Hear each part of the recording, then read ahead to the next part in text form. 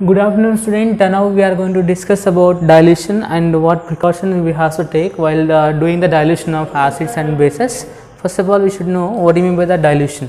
What do you mean by the dilution? Okay, dilution is nothing but a decreasing in the concentration of H plus ions or OH minus ions. I am talking about acids and bases. Okay, decreasing in the concentration of H plus ions or OH minus ions when we are dissolving acids or bases in the water respectively. Okay? There will be an decreasing in the concentration. Decreasing in the concentration of h plus ions and oh minus ion okay? As we know as we know and the ninth standard we discussed about solute solvent and solution. Okay? Uh, diluted means remember what do you mean by diluted uh, diluted solution? In the sense there will be small amount of small amount of solute will be there small amount of solute okay? And for that we are adding large amount large amount of what? Solvent will be there. That these two combining together what we are going to call? We are going to call as solution okay? If solution is made up of small amount of solute and large amount of solvent then this solution is said to be diluted one. Diluted. Suppose if i am taking small amount of sugar here okay if i am taking say as uh, 10 gram of sugar i am taking and i am adding to the 90 ml of water. 90 ml of water. This is said to be diluted sugar solution. Diluted sugar means we are taking small amount of sugar and we are going to dissolve this sugar in a large amount of water. And this solution said to be diluted sugar solution. Similarly similarly if you take an small amount of if you take a small amount of acid i am taking say as uh, uh, 10 ml 10 ml of h2so4 10 ml of h2so4 i am taking in terms of 1000 grams means thousands ml of water of water. This is said to be what? Diluted diluted H2SO4 means we are taking small amount. How much I am taking here? Only 10 ml I am taking. I am taking how much here? 10 ml I am taking here. This 10 ml I am adding 1000 grams of 1000 ml of water. I mean I am dissolving this one in a 1 liter of water. 1 liter of water. Now what happens actually?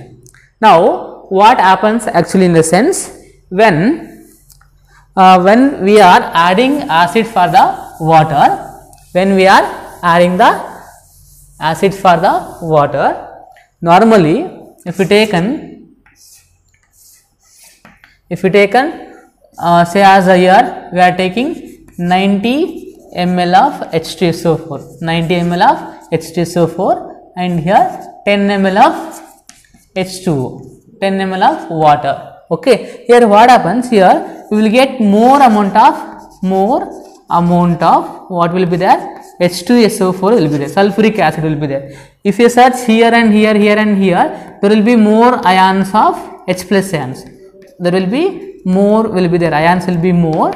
Okay? If you taken here from this if you taken 1 centimeter cube 1 centimeter cube of area 1 centimeter cube of area it may be contain 100 ions it may be contain 100 ions of H plus ions 100 H plus ion will get within the how many how much area? 1 centimeter area. Why? Because we are taking more amount of acid. In second cases this is about case 1 okay? One more is case 2 here same I am taking here same volume of suppose this is this will be uh, say as uh, this will be around uh, 100 uh, ml beaker. Okay this is also 100 ml beaker. Okay again what i am doing here i am taking here here i am taking 10 ml of h2 h2 water i am taking here 90 ml of water and within this i am adding 10 ml of h2 so4 so4 what happens here? Again we will get a ions here but now if you take an 1 centimeter cube area 1 centimeter cube area. Here how many ions we got here? 100 ions we got. Here how many ions we can get? Maybe we can get as 10, 10 ions. 10 H plus ions we are going to get. 10 H plus ions. Okay. So re remember here when we are diluted, when we are diluted an acid, okay, number of ions, number of H plus ions, number of H plus ions are H3O plus ions. H3O plus ions. How many are there here? 100 are there. From here, how many are there? I mean, here, how many are there?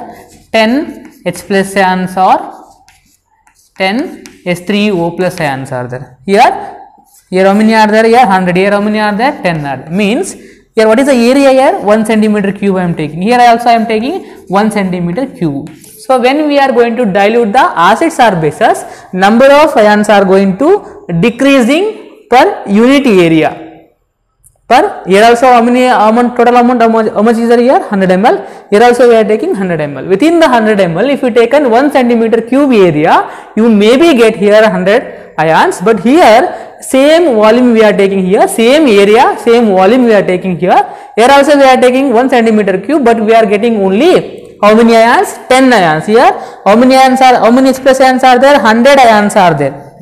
Here how many are there? Only 10 ions are there. Number of ions are going to decreasing per unit volume. This is this is going to happen then then acid is said to be diluted. Okay, dilution means what? Decreasing in the number of ions per unit volume is called as dilution. Okay, if the number of H plus ions are going to decreasing per unit volume, then it is called diluted acid. This one is called as concentrated concentrated H2SO4 and this one we can call as this one is diluted sulfuric acid. Diluted H2SO4 it not mean that particularly this ion should be there maybe but compared to the concentrated compared to the pure one here number of ions will be very less per unit volume in a solution particular solution okay? This is about the dilution. Similarly if you take an base if you are adding large amount of water you are adding a very small amount of uh, base substance then when you are going to dissolve them number of uh, what you call hydroxyl ions OH minus ions are going to decreasing per unit volume. Okay? This is about the dilution of acids and bases. What happens? When we are going to call acid are diluted when the number of H plus ions or number of H3O plus ions are going to decreasing per unit volume are said to be diluted acids. Similarly, where number of hydroxyl ions, number of OH minus are minus ions are said to uh, what you call uh, decrease, then it is called as diluted base. Diluted base. Remember, okay. Here you should remember uh, about the number of ions per unit volume. Okay. Now now, how we can do the dilution of acids? What precaution we have to take? Remember, suppose this is an container. Okay, if it is an if it is an acid, and for this I am going to I am going to add an water. So I said now you should take a small amount of acid and we have to add a water to get a diluted to get a diluted acid. We will get or not definitely we will get if you are going to add. So remember we should not add water for the acid. We should not add. Okay? This method is wrong how we have to do the dilution in the sense we have to take an water we have to take an water and slowly for this the water we have to add acid. We have to add the acid. This is an correct method. This is wrong. Why we should not add a water for an acid? I also you observed in the in your kitchen okay when uh, iron fan iron uh, frying fan is there na? If you are keeping above the stove okay if you are keeping above the stove okay. So suppose if you are adding a drop of water drops of H2 after when it is heated a long time what happens? Because of very huge amount of heat this water droplets is going to split out it may be make a splash. Means it can be come outside with an high amount of heat with an energy. It may be what we can call it we are going to call sputtering.